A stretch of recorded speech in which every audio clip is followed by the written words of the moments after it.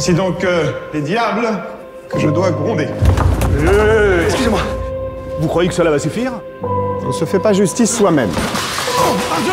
C'était un peu plus ras celui-là, je l'embrocherais bien. Hein. Un droit qui m'appartient à moi.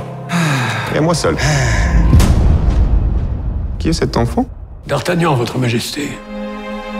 Trois duels en trois heures avec trois mousquetaires.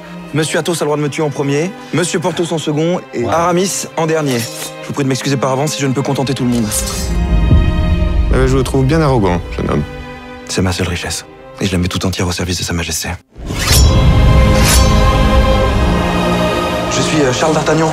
J'ai bien connu votre père. Que puis-je faire pour son fils? Aussi loin que je me souvienne, j'ai toujours voulu être mousquetaire. Vous allez rejoindre les cadets. Et peut-être un jour, vous serez mousquetaire. Ils sont sept, nous sommes trois. Il me semble à moi que nous sommes quatre. Tu veux pas le tuer, s'il te plaît? Il m'exaspère. Cette rivalité entre nos troupes est ridicule. Retenez vos soldats, je retiendrai les miens. Il est dit. Des difficultés. morte et enterrée. Peut pas laisser faire ça. Mais il est innocent.